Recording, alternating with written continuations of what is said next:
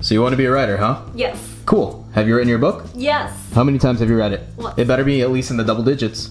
Have you solicited your book to everyone you know? Not yet. Cool, cool, cool. Are you doing self-published or traditional? I don't. Have you looked up the benefits on each? I d- don't know. How many agents have you emailed? Better be in the hundreds or you're going nowhere, honey. Cool. Have you made the changes you don't want so the book could sell better? I, I, All right, you ready for all the criticism? Hundreds of people are gonna poke holes in your plot. Is it? All right, all right, all right. Cool, cool, cool, cool, cool. Thanks for the two years of work. Uh, here's a paycheck that's not even remotely worth all the effort. Uh, all right, are you ready to do it again? Is it too late to change careers? Yep, you're locked in. Nice.